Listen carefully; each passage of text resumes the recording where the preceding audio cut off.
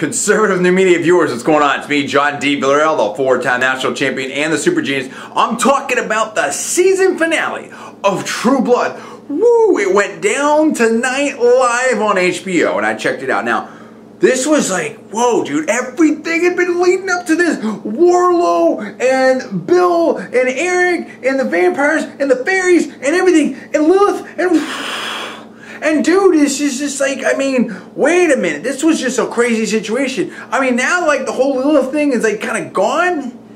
And is this like, did Bill say the, I mean, it's just like, I don't know, dude. I mean, what happened to that whole little situation? Like, that's just, and then like Warlow, I'm glad Warlow's gone because he just was bugging me. Like, the whole Warlow thing, I didn't even like. First of all, all my personal opinion, only knowledge. If I'm not casting any Spurs all for a team of purpose only, please check exclaims. I mean, dude, everything this season was like getting really good. It was like building up and everything like that. But this, this ending was just kind of like a weird twist. I just like, was like kind of, I don't know, dude.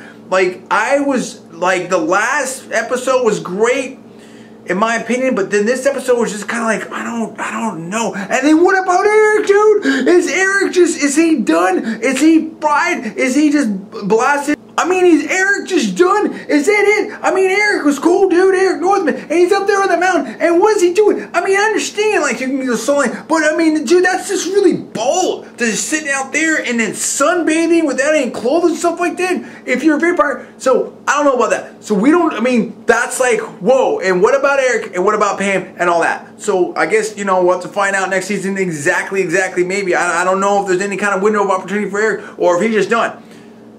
But the whole thing with Bill, like Bill's getting boring for me. Okay, like this season, kind of like you know, but Bill's sort of been boring. But this kind of made it more boring in my personal opinion. But the one that really saved this episode, or this, this, you know, I mean, that I really am digging is Jason. I like Jason from the beginning, but Jason is just funny and he's doing his thing. And what about his new girlfriend or whatever? That vampire, that whole situation, and that like heat, dude like that that that that, that kind of situation with the, the with, between girlfriend and his ex-girlfriend there and everything like that, that Jessica, like that's pretty intense. That little volleyball game and stuff like that. But then like, well, let's talk about this. Like girlfriend is like putting him on ice, dude, kind of. And I mean, though, and see, here's the thing. It's one thing, like, I mean, think about from her perspective, like, okay, she's like whatever it is, 800 years old or something like that. You know, obviously it's fiction, everything, you know, but it, but you know, dude, he's like a young dude. It's one thing to be on ice for a period of time when you're 800 years old. It's another thing when, like, you know, you're Jason's age. So is that kind of fair? But that's the question. But I mean, like I said, I like this episode.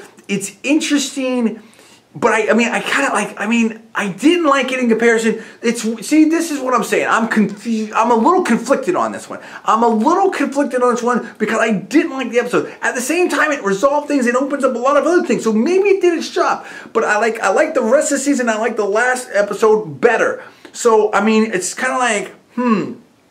I mean, you know, I'm not saying it left me with the same feeling as like the last Sopranos episode by any stretch, but at the same time, like I just, I, I, uh, I, you know, I feel like it could have been a better job on this episode, but I can't really judge it until I see the next season. Now, we got Sam as mayor and everything like that. That's very interesting. And like Andy Bellefleur, like he used to just bore the heck out of me, but he's like really come a long ways. Like the whole thing with his daughter and stuff like that, that's been really good for that character. A lot of growth there. That's interesting. Same thing with Arlene, like she's become a little bit more interesting, but like Andy Bellefleur really sort of stepped up. And him and Jason, and I, just, I love the scene between him and Jason where they're talking about they need to go in there head against Warlow. And then Jason's like, that's the only way we're doing, doing or whatever.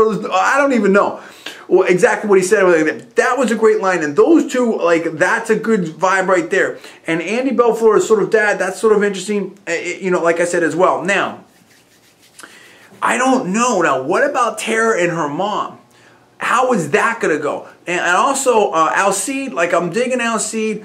And, and that's sort of you know, I've always liked Alcide, and he's had a good storyline and stuff like that. So, I mean, this is setting certain things up. With this whole situation with the infected vampires and you know the, the the human and vampire sort of alliance so you know with the non-infected there's a lot of different things here but Warlow is gone what about the granddad what I mean there's so many different things to talk about when you really start looking at the different layers of the onion and unpacking this situation well here's what I want to know right now True Blood fans, number one, are you happy with this episode?